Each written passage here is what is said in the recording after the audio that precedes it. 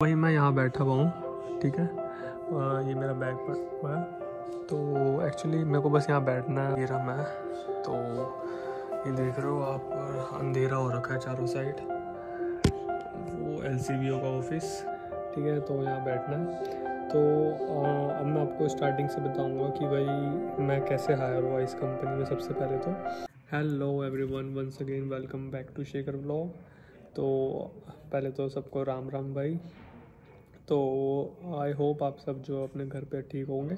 जैसे कि भाई अभी जो है नए बच्चे आ चुके हैं, नए इनटेक के बच्चे आने वाले हैं, जनवरी के आने वाले हैं, सितंबर के आ चुके हैं, ठीक है? तो भाई ये वीडियो मैं स्पेशली आप लोगों के लिए बना रहा हूँ लाइक जो बच्चे सोचते हैं मेरे को सिक्योरिटी में काम करना है। मुझे कैसे सिक्योरिटी का काम मिल सकता है भाई, मुझे बताओ, मेरे को मैसेज आते हैं बहुत सारे कि, राज भाई, काम दिलवा दो। तो भाई, इस वीडियो में मैं आपको ना सारा कुछ एक्सप्लेन करूँगा टोटली लाइक आप क्या चीज़ आप कर सकते हो, किस, जिस, किस तरीके से आप कर सकते हो, किस तरीके से आप बोल सकते हो, वहाँ क्या इंटरव्यू में पूछते हैं, जिससे आप हायर हो जाओ, ठीक है? जल्दी से जल्दी हायर हो जाओ और काम ढूंढ लो। जैसे किसी कनाडा में जो है अभी काम की थोड़ी शॉर्टेज चल रही है, पर ये वीडियो आई होप आपके लिए बहुत हेल्पफुल होने वाली है। आप जो है ये वीडियो ज़रूर एंड तक देखना। तो मैं इसमें आपको सारा कुछ क्लियर कर दूँगा कि भाई मैं कैसे हायर हुआ, आप कैसे हायर हो सकते हो। तो भाई स्टार्ट करते हैं वीडियो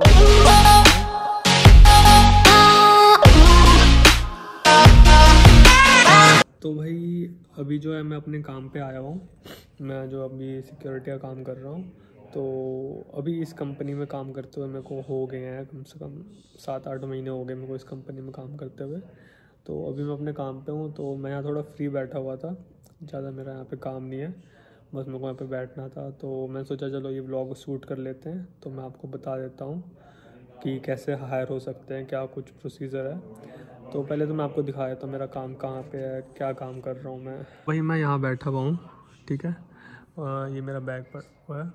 तो एक्चुअली मेरे को बस यहाँ बैठना है और ये कॉन्ट्रैक्चुअल कॉन्ट्रैक्टर काम कर रहे हैं अंदर तो उनको बस देखने के लिए, उनको एक प्रेजेंस चाहिए होती है सिक्योरिटी की। तो मैं यहाँ बैठा हूँ, कुछ नहीं, मेरी कॉफ़ी पड़ी हुई है। ज़्यादा कुछ काम नहीं होता यहाँ। तो बस इतना ही काम है। एक्चुअली मेरी नाइट शिफ्ट है तो मैं आपको दिखाता हूँ बाहर का क्या सीन है। मैं अभी टोरंटो में हूँ, ये रहा मैं।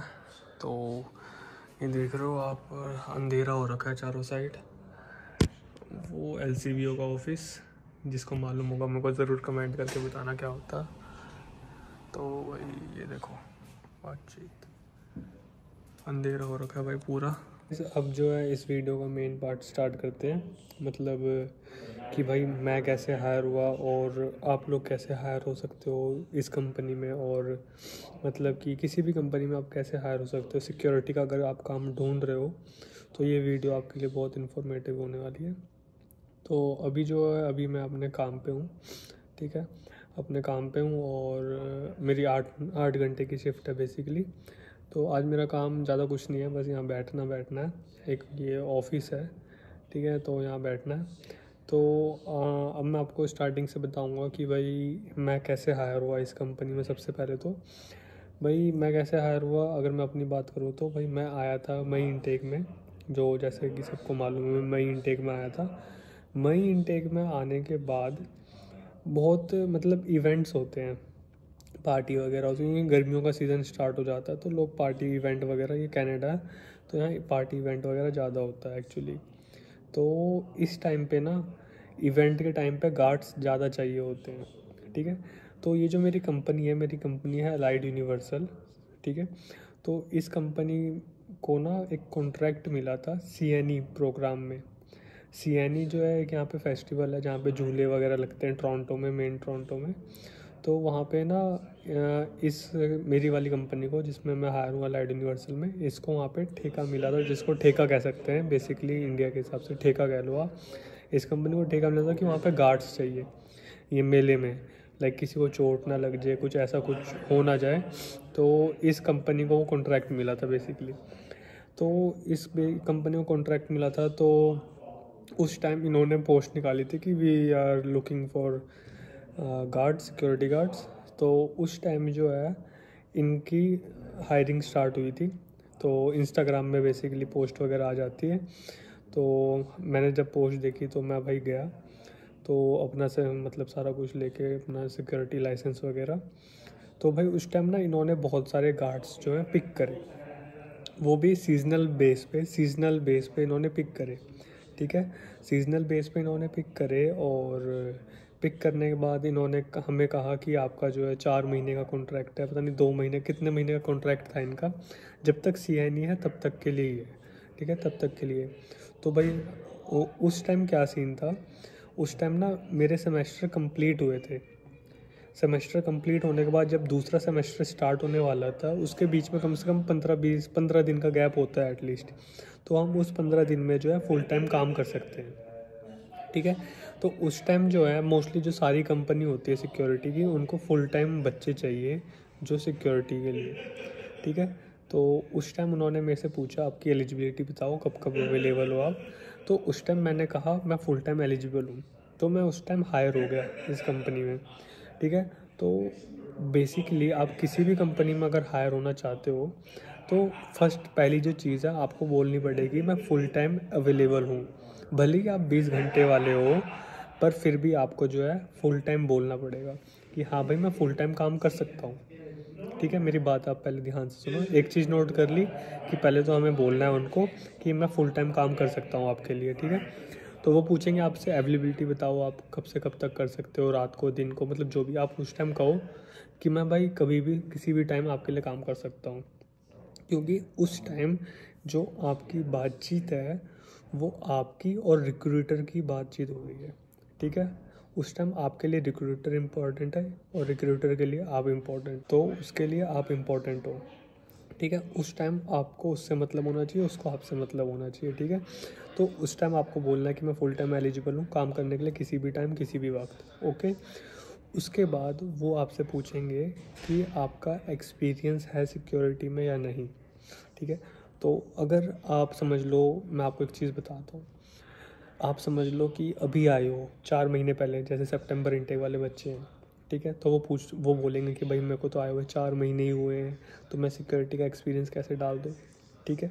तो पर आप जो है अपना एक साल का या छः महीने का एक्सपीरियंस डाल दो। ठीक है? आपसे वो लोग स्टडी परमिट आपका चेक नहीं करेंगे कि आपकी स्टडी कब से स्टार्ट हुई है आप क्या है क्या है, ऐसा कुछ नहीं। वो बस आपका रिज्यूमे चेक करते हैं, कुछ पीछे से वेरीफाई नहीं करते हैं। ठीक है?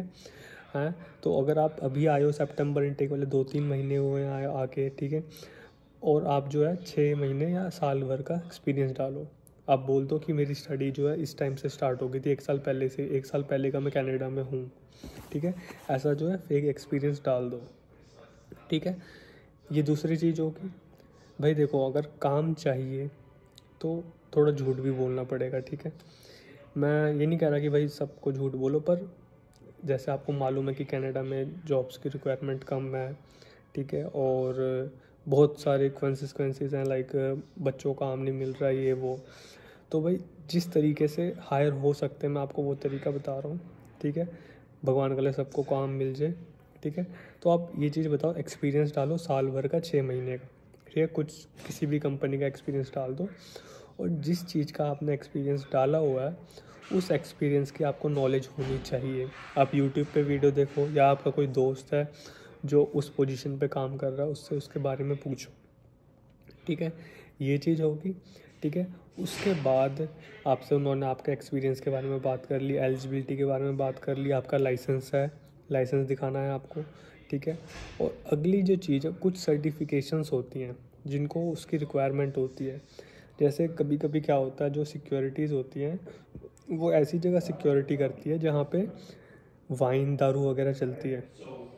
तो उस टाइम जो है गार्ड को स्मार्ट सर्फ की ज़रूरत होती है, ठीक है? तो आप मोस्टली किसी भी कंपनी में जाओगे हायर होने के लिए सिक्योरिटी में तो वो सबसे पूछते हैं मतलब मैंने 80 टू 90 परसेंट ऐसी कंपनी देखी हुई है, सारी सारी मोस्टली सारी कंपनी है, बल्कि मैं आपको रेफ़र करूँगा, आप बनाओ। स्मार्ट सर्फ का सर्टिफिकेट ज़रूर बनाओ, ठीक है? वो मांगते हैं उस टाइम ठीक है? तो स्मार्ट सर्फ का सर्टिफिकेट बनाओ और अगर आपके पास उस टाइम स्मार्ट सर्फ का सर्टिफिकेट नहीं है हायर होने के टाइम पे तो आप उनको बोल दो हाँ मेरे पास स्मार्ट सर्फ है, मैं आपको कल सेंड कर दूँगा।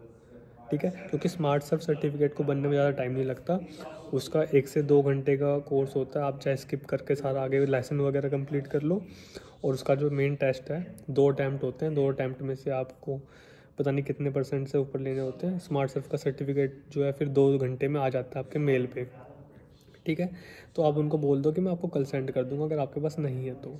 पर मैं कहूँगा, आप अभी देख रहे हो मेरी वीडियो तो अभी बना लेना कुछ दिनों में।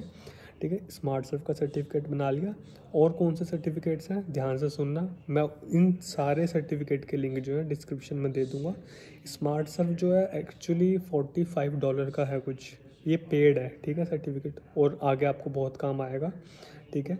भले ही सिर्फ़ सिक्योरिटी में नहीं, बाकी और भी कहीं मतलब अगर आपको ऐसी नॉर्मली वाइन रैक वगैरह एलसीबीओ वगैरह में लगना है तो ये सर्टिफिकेट मांगते ही मांगते हैं, ठीक है?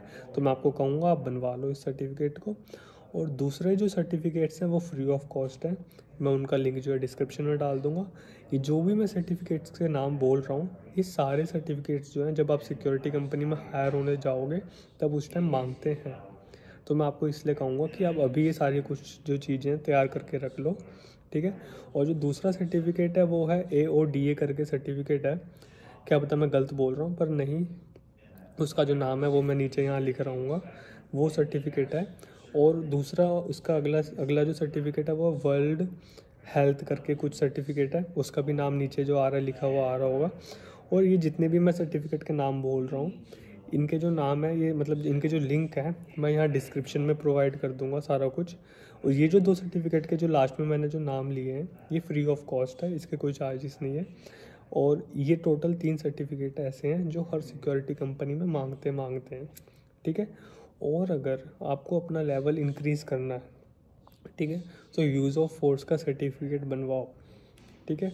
वो थोड़ा हायर लेवल टेक्टिकल गार्ड्स वगैरह के लिए हो जाता है, पर मतलब जिनको मतलब जिनको ज़्यादा लगता है कि मैंने हाँ और आगे तक मतलब सबको ही आगे तक जाना है।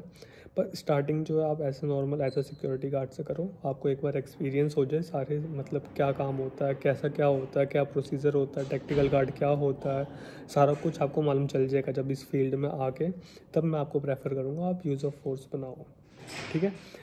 तो उस टाइम मेरे से फिर ये सारे सर्टिफिकेट ये सारी डॉक्यूमेंटेशन की तो मैं हायर हो गया एज अ कॉन्ट्रेक्चुअल बेस पे। कॉन्ट्रेक्चुअल बेस पे मैं हायर हो गया।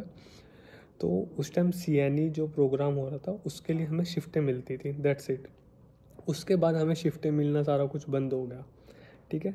तो उसके बाद मैंने, उसके बाद जिस काम के लिए हमें हायर किया था, उसके लिए हमारा डन हो गया सारा कुछ। ठीक है?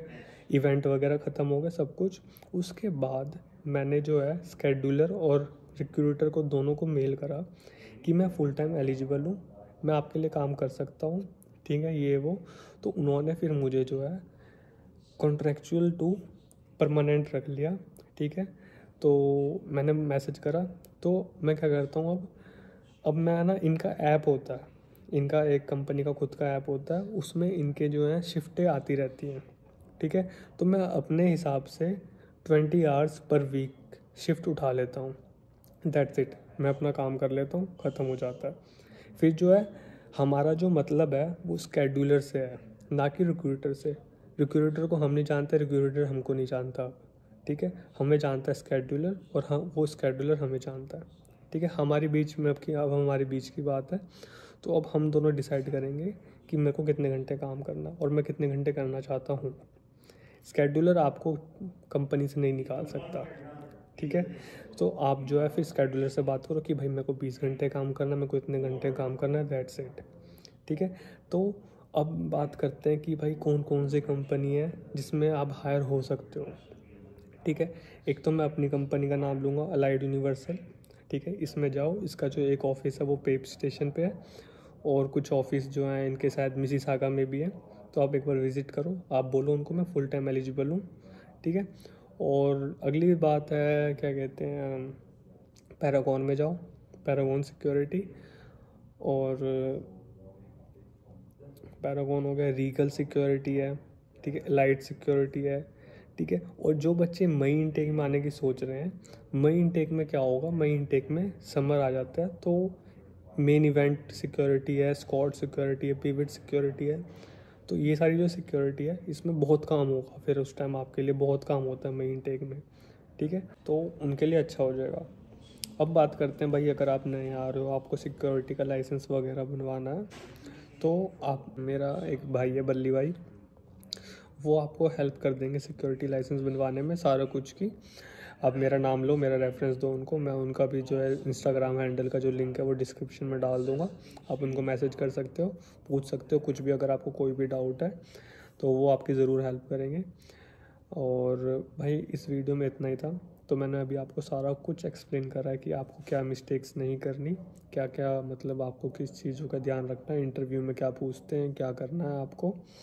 दैट्स इट और अगर आपको ये वीडियो अच्छी लगी हो, कुछ भी मतलब इन्फॉर्मेशन बेस्ड लगी हो कि मैंने आपकी मदद करी और कोई हायर हुआ है तो भाई मुझे ज़रूर बताना। Thank you for watching this video I hope you guys like share